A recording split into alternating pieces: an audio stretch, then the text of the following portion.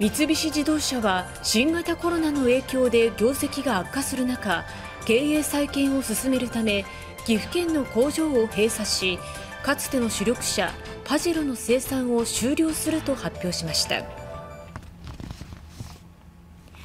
三菱自動車は新型コロナウイルスの感染拡大の影響で販売が落ち込み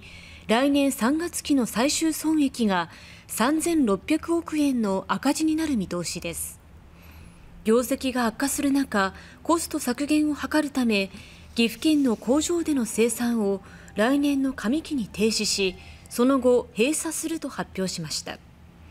これに伴いかつて四輪駆動車ブームを牽引した主力車パジェロの生産を完全に終了します。今後はヨーロッパ向けの新車投入を凍結し東南アジアに注力するなど経営再建を急ぐ方針です。